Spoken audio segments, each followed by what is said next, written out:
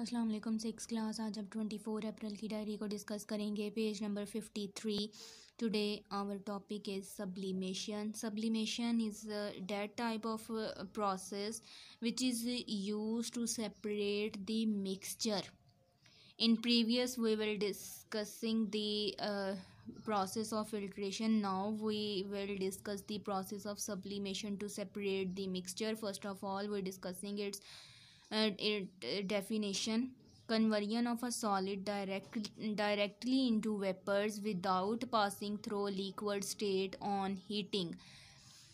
Solid को जब गर्म किया जाए तो वो गर्म होने के बाद लिक्विड स्टेट में जाने की बजाय डायरेक्टली वेपर स्टेट में गैस स्टेट में चला जाए ऐसे प्रोसेस को आप सब्लिमेशन का प्रोसेस कहते हैं।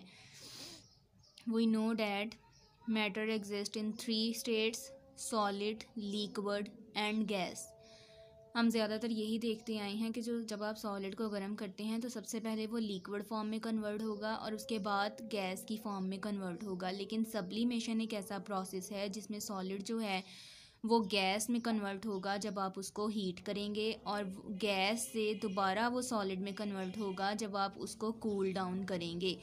ये दोनों प्रोसेस जो हैं, वो एक ही प्रोसेस में होंगे सब्लिमेशन के प्रोसेस में कि सॉलिड जो होगा, वो गैस में कन्वर्ट होगा जब आप हीट करेंगे और गैस जो है, वो सॉलिड में कन्वर्ट होगी सब्लिमेशन के ही प्रोसेस में जब आप उसको कूल करेंगे। जब वही गैस ठंडी हो जाएगी तो वह फिर से जो है, वो सॉलिड फॉर्म में कन्वर्ट हो जाएगी। यहाँ पर एक एक्टिविटी दी, हम उसको डिस्कस करते हैं। आपके पास सैंड है अमोनियम क्लोराइड है, burner, china dish, glass, funnel, cotton, tripod stand. एक ट्राईपोर्ट स्टैंड लें, उसके नीचे बर्नर रखें और चाइना डिश में आप अमोनियम क्लोराइड लें और सैंड लें। जब आप उसको नीचे से गर्म करना शुरू करेंगे तो क्या होगा कि वो डायरेक्टली आप उसको हीट कर रहे हैं तो वही जो अमोनियम क्लोराइड होगा, वो सब्लिमेन हो जाएगा और आपके पास जो चाइना डिश है, उसमें जो है वो सैंड जो है वो बाकी रह जाएगी। यहाँ पर कुछ एग्जांपल्स दी गई हैं। Iodine ammonium chloride Kafur and naphthalene have the property to sublime ये कुछ एग्जांपल्स हैं।